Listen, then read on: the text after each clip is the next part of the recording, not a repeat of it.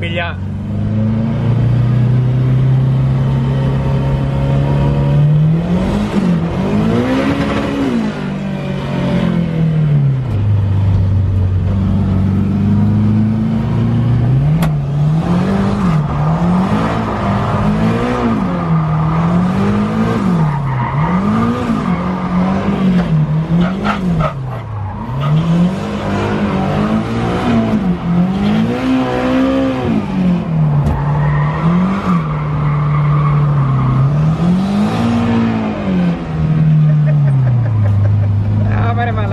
εκεί να δει ο Μωραητίνης πώς δουλεύεις. Τι, ξυλώσαμε κανένα λάστιχο; Δεν κάνετε.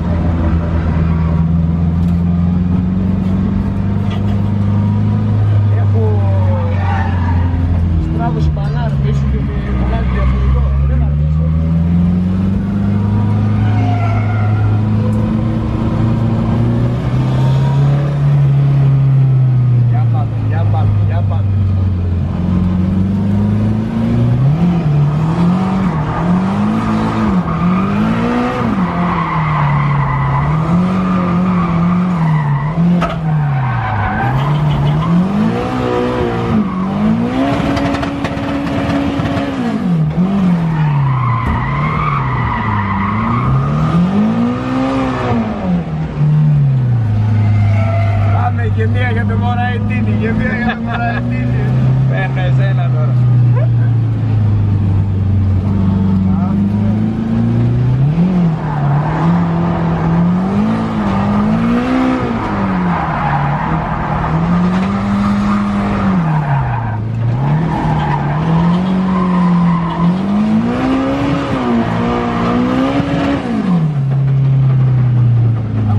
μου στρώσει το πίσω. Κάτι ακούω. Αχ, θέλουμε καινούργια λάστιχα. Λαστικοφάγος, ο Μπίλιας ο λαστικοφάγος. Δώσ' του φυλάκια, δώσ' του φυλάκια του μαλάκα. Μαλάκα, μάμα.